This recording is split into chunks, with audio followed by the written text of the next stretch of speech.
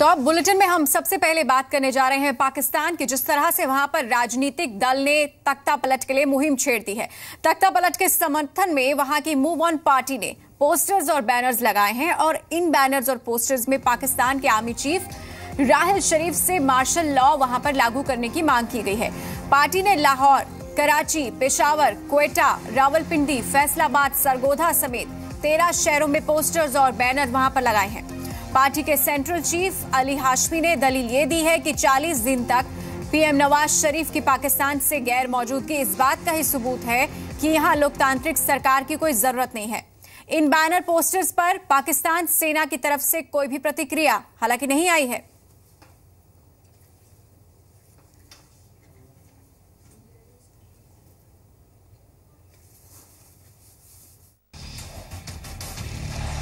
पाकिस्तान में होगा तख्ता पलट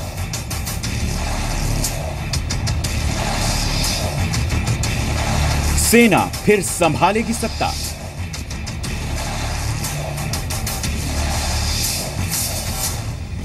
राहिल शरीफ का होगा राज।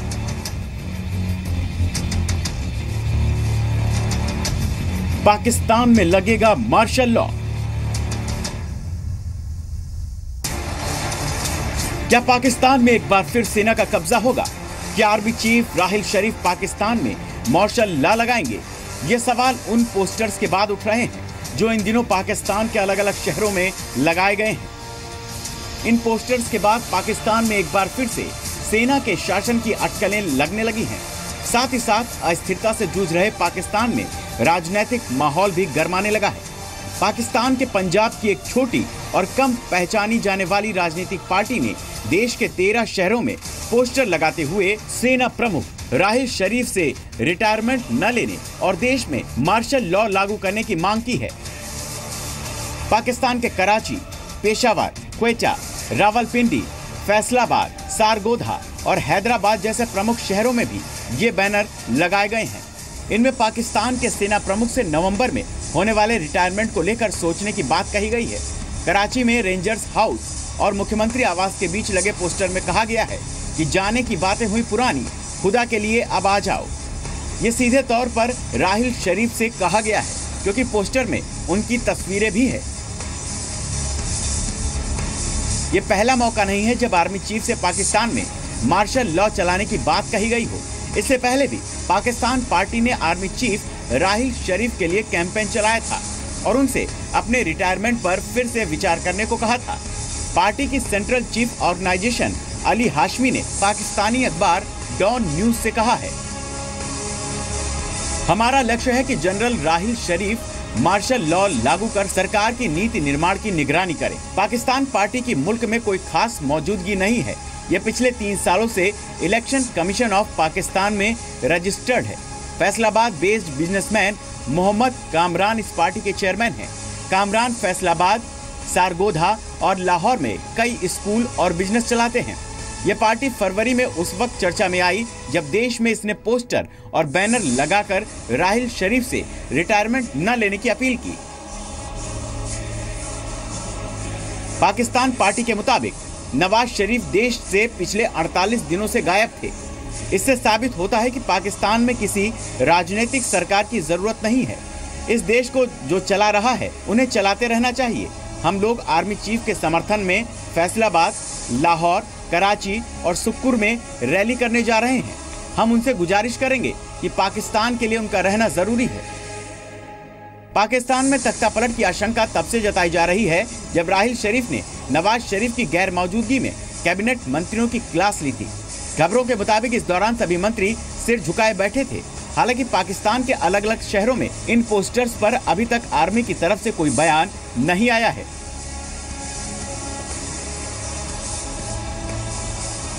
दिलचस्प यह है कि रातों रात देश के तेरह शहर की अहम सड़कों पर ये होर्डिंग्स और बैनर लगा दिए गए। यहाँ तक कि कंटोनमेंट एरिया में भी ये होर्डिंग्स लगाए गए हैं, जबकि इस इलाके में सुरक्षा काफ़ी कड़ी होती है। फ़िलहाल इस ताज़ा घटनाक्रम के बाद पाकिस्तान की सत्ताधारी पार्टी, मुस्लिम लीग नवाज़, इस मसले पर कुछ भी कहने से बच रही है। साथ ही उन्हें डर सता रहा है कि कहीं पाकिस्तान की आवाम राहिल शरीफ के पक्ष में सड़क पर न निकल जाए। International desk, India twenty four seven. वैसे पाकिस्तान में तख्ता पलट होना कोई नई बात नहीं है। विभाजन के बाद से पाकिस्तान में अब तक चार बार तख्ता पलट हो चुका है और चारों बार पाकिस्तान ने फौजी हुकूमत से लोकतंत्र को लहूलुहान होते लोगों ने देखा। और एक बार फिर से पाकिस्तान में तख्ता पलट की अब सुखबुगाहट तेज हो रही है।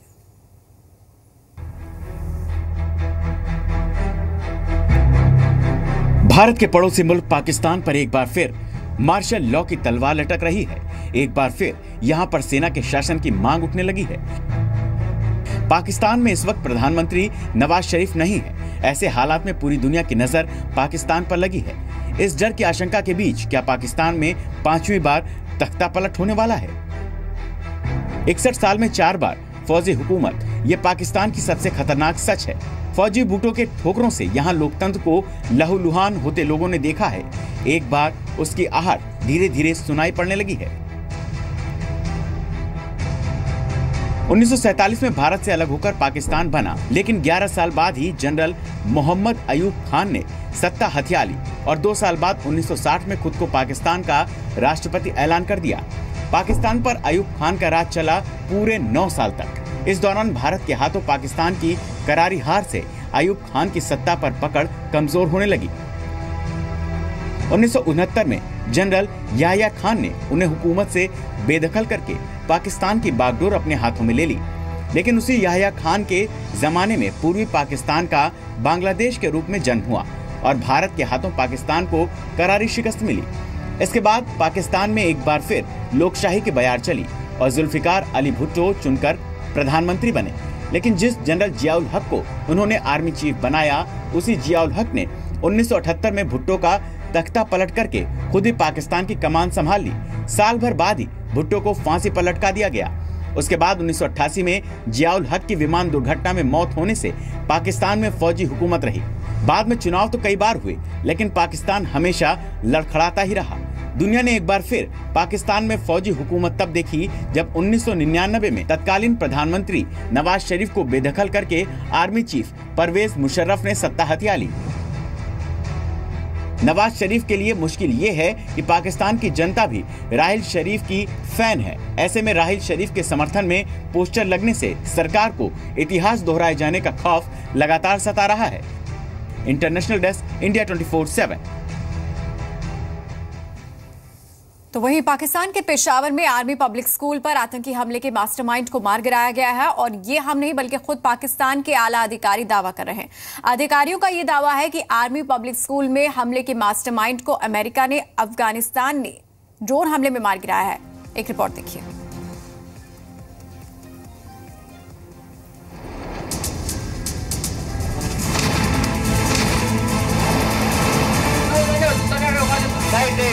wash him. Dive, dive, dive.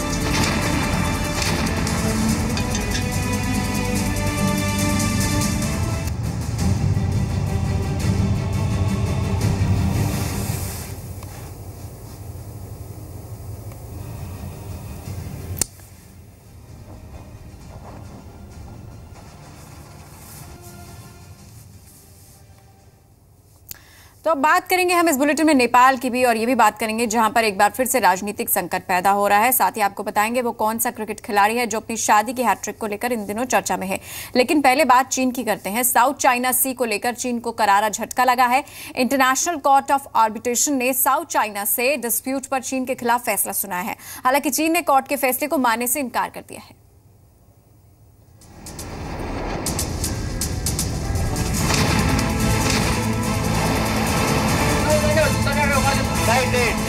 Warship! Dive, dive, dive!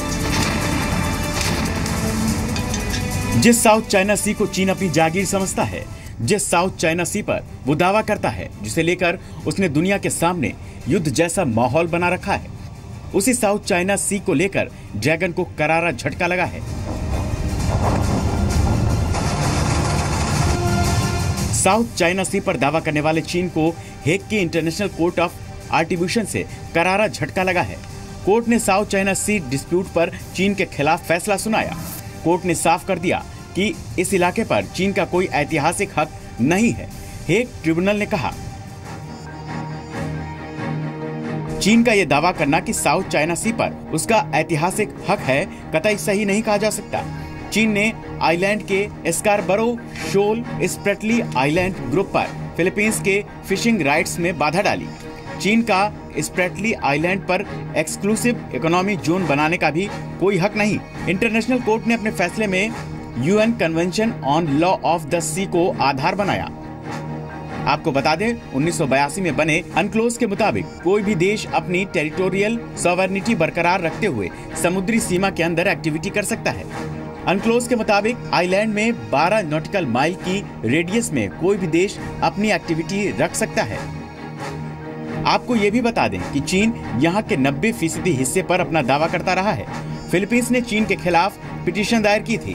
Philippines का आरोप था कि स्ट्रेटेजिकली अहम माने जाने वाले इस इलाके में चीन ने रिसोर्सेज का ज़रूरत से ज़्यादा यूज़ किया है।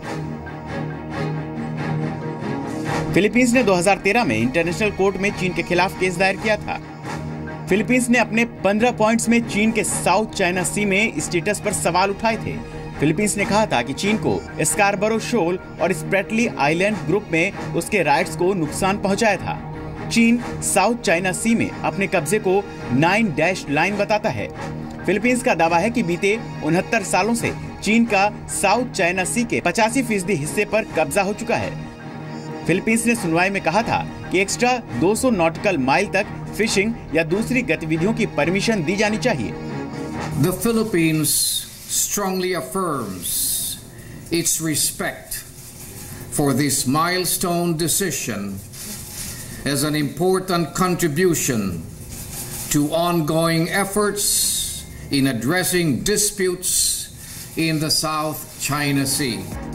हालांकि चीन ने सुनवाई से ये कहते हुए बैकआउट किया कि इस मुद्दे पर फैसला सुनाना हेग के अधिकार क्षेत्र में नहीं आता 对于这样一个 程序和法律适用牵强附会、证据和事实认定漏洞百出的仲裁案，中国人民根本不会接受。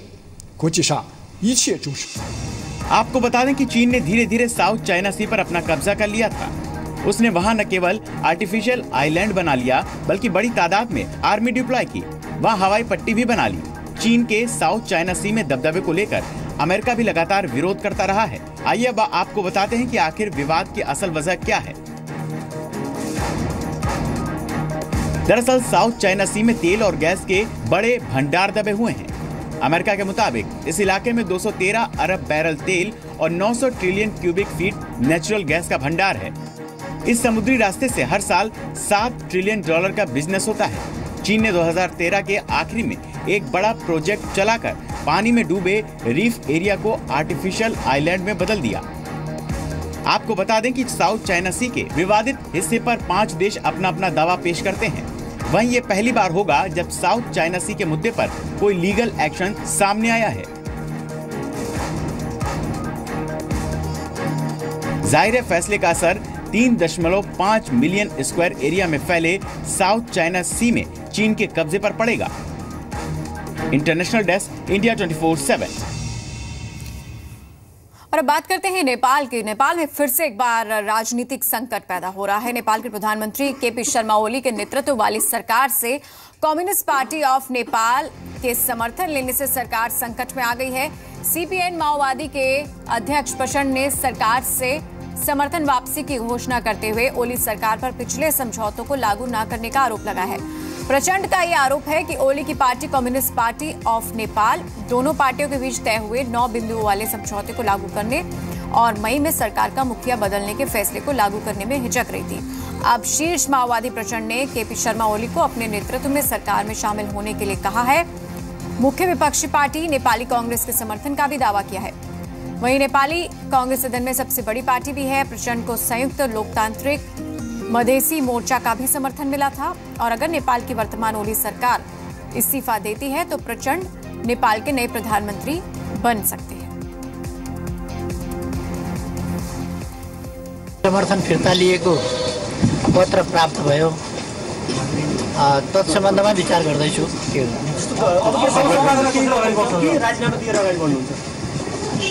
भनि विचार गर्दैछु, पत्र प्राप्त भयो, विचार गर्दैछु। और वहीं इटली के पुगलिया के दक्षिणी क्षेत्र में दो ट्रेनों के बीच टक्कर हो गई और इस हादसे में 20 लोगों की मौत हो गई है। जानकारी के मुताबिक आंद्रिया शहर के पास एक ही लाइन पर चार कोच वाली दोनों ट्रेनों के बीच टक्कर में कई लोग घायल हो गए हैं। हालाँकि हादसे के कारणों का अभी तक पता नहीं चल पाया है। वहीं इटली के प्रधानमंत्री मातेओ रेंजी ने इस हादसे पर दुख जताया है।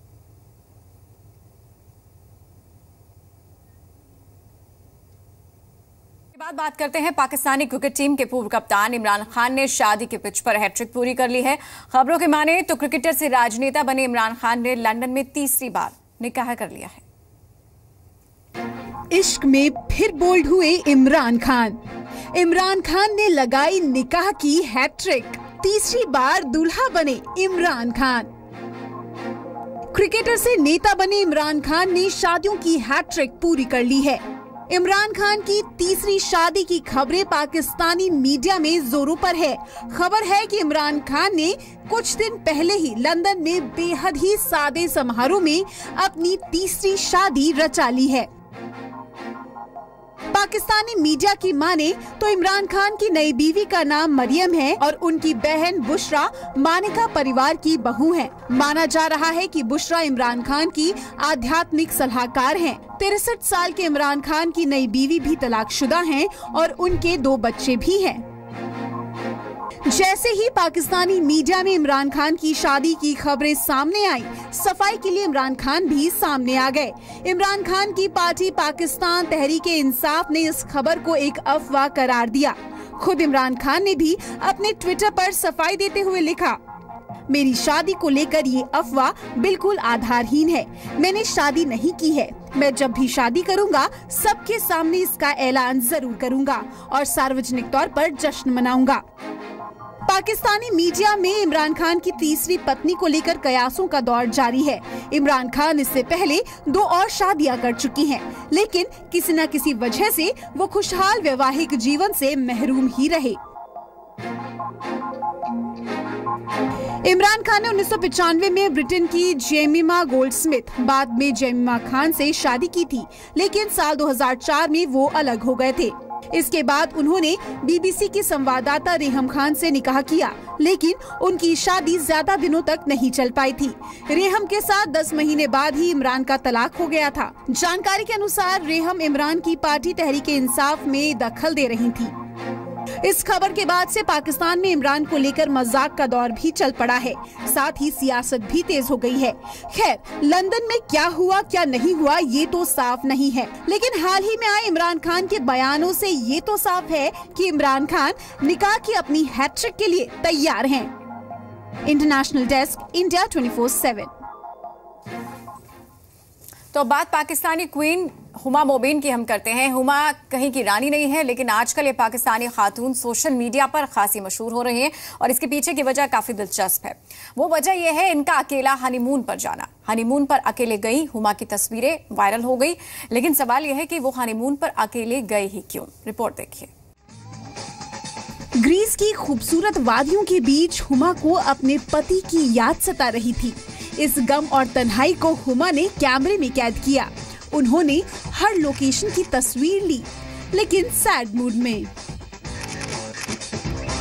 इन तस्वीरों को हुमा ने सोशल मीडिया पर साझा किया। अब हनीमून की ये तस्वीरें सोशल मीडिया पर वायरल हो गई हैं। हुमा और अरसलान की शादी को अभी एक साल भी नहीं हुए हैं। इस बीच प्लान बना कि परिवार को साथ लेकर ग्रीस चला जाए। लेकिन इस दौरान एक पीच फंस गया। एन वक्त पर पति अरसलान का वीज़ा कैंसिल हो गया। हुमा सदमे में आ गई। पहली दफ़ा तो उन्होंने सोचा कि प्लान ही कैंसिल कर दे। लेकिन पैसा बहुत खर्च हो चुका था। ऐसे में पत्नी ने बिना पति के हनीमून पर जाने का फैसला किया। हुमा अपने सास ससुर फुफी और चाचा के साथ ग्रीस गई। हुमा के इस हनीमून की फ़ोटो फेसबुक पर वायरल हो गई है। हुमा के दोस्तों और करीबियों के अलावा दूसरे सोशल मीडिया यूज़र्स ने भी इस पर अपने कमेंट्स डाले हैं। इन फ़ोटोज़ को लेकर हुमा ने अपने पति को क्रेडिट दिया है। दरअसल, सगाई के बाद हुमा के पति ने अपनी बुडापोस्ट यात्रा के दौरान ऐसी ही सैड तस्वीरें भेजी थी और इसी से हुमा को ग्रीस टूर के दौरान ये आइडिया आया। फ़ोटोज़ देखकर ऐसा भी लग रहा है कि अब लड़कियाँ सचमुच अकेले हनीमून को एंजॉय करने का ट्रेंड फॉलो करने वाली हैं। ब्यूरो रिपोर्ट, इंडिया 24/7 और अब खबर हांगकांग से है, जहाँ मैक्स केव नाम के एक डेयर ने बिना किसी सुरक्षा इंतज़ाम के 25 मंजिला इमारत से दूसरी बिल्डिंग पर छलांग लगा दी। और हुआ फिर क्या, इस रिपोर्ट में देखिए आप। महज पाँच सेकंड के इस वीडियो को जिसने भी देखा, हैरान रह गया। 25 मंजिला इमारत से दूसरी बिल्डिंग पर कूदने की ये तस्वीरें इंस्टाग्राम पर ढाई लाख बार देखी जा चुकी है। इमारत की 15 सेंटीमीटर मोटी दीवार से दूसरी इमारत की दीवार पर कूदने का ये मंजर हांगकांग शहर के वॉर्फ रोड का है। और अपनी जान को जोखिम में डालकर करतब करने वाला ये शख्स British daredevil Max Cave है।